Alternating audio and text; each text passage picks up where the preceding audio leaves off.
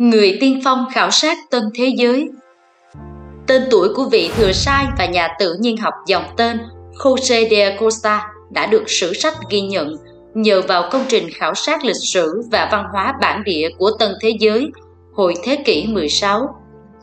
Cha Jose de Costa sinh năm 1539, mất năm 1600, là tu sĩ người Tây Ban Nha nổi tiếng với tác phẩm Historia Naturae y Moral de la India xuất bản năm 1590.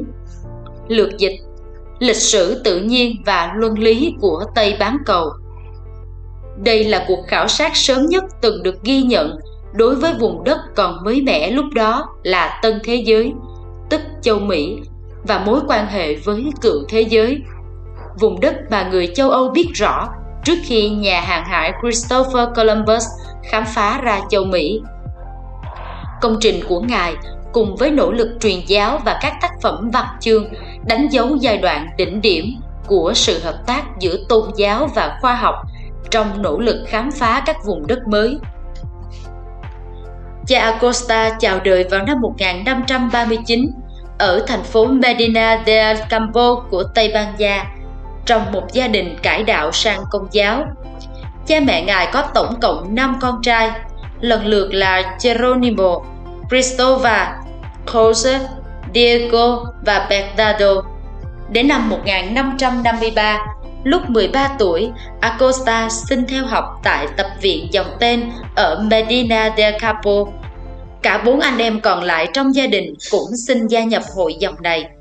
Sau khi thụ phong linh mục, Ngài giảng dạy môn thần học tại Okanda, Tây Ban Nha và vào tháng 4 năm 1569 được gửi đến Lima, Peru, nơi đánh dấu những bước chân đầu tiên của các thừa sai dòng tên tại Tân Thế Giới.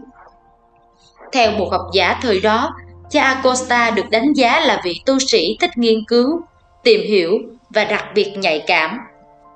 Năm 32 tuổi, năm 1570, nhóm của ngài đặt chân đến Cartagena de India, tên hiện nay là Cartagena, thuộc Colombia, trước khi tới Nombre de Ino, Panama.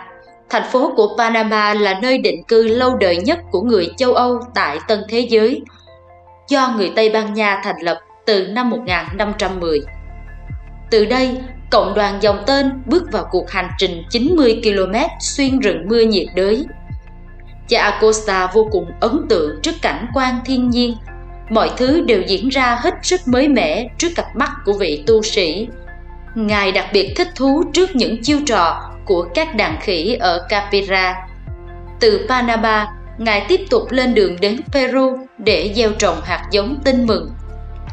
Tại đây, cha Acosta trở thành bề trên giám tỉnh của dòng tên từ năm 1576 đến năm 1581 trước khi được bổ nhiệm làm cố vấn thần học cho cộng đồng Liba Đệ Tam năm 1582. Sau đó, Ngài viết sách giáo lý vấn đáp bằng tiếng Tây Ban Nha và các ngôn ngữ bản địa Quechua, Aymaran. Đây là quyển sách đầu tiên được in tại Peru. Cha Acosta cũng sáng lập nhiều đại học tại Peru, thành lập tờ báo đầu tiên của nước này và lập một phái đoàn truyền giáo gần hồ Titicaca khi quay về Tây Ban Nha vào năm 1587. Ngài viết Historia Natura y Moda de la India, tác phẩm trình bày các kết quả quan sát về mảng địa lý và lịch sử tự nhiên của Mexico lẫn Peru, bao gồm tôn giáo và nền chính trị bản xứ.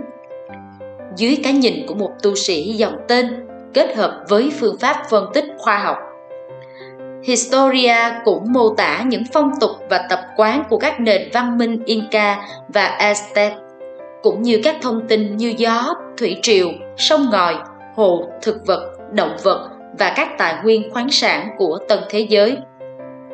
Công trình của vị linh mục được đánh giá vô cùng quan trọng vì nó thể hiện những cái nhìn đầu tiên đối với miền Tây Nam Mỹ.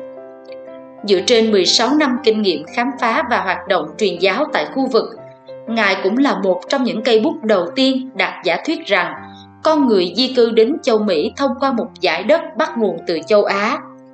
Một cuộc nghiên cứu đáng nể của cha Acosta đã được phản ảnh qua quyển sách De Procuranda Indorum Talut vào năm 1588. Tài liệu này cung cấp sự phân tích và thẩm định có hệ thống về các vấn đề trong quá trình truyền giáo tại châu Mỹ. Trên thực tế, De Indorum Salut là một trong những ấn phẩm có tầm ảnh hưởng lớn nhất cho các sứ mệnh truyền giáo tại Tân Thế Giới. Năm 1594, cha Acosta trở thành bề trên của dòng tên ở Valladolid, Tây Ban Nha và hiệu trưởng của Đại học dòng tên tại Salamanca năm 1598 cho đến khi qua đời vào năm 1600.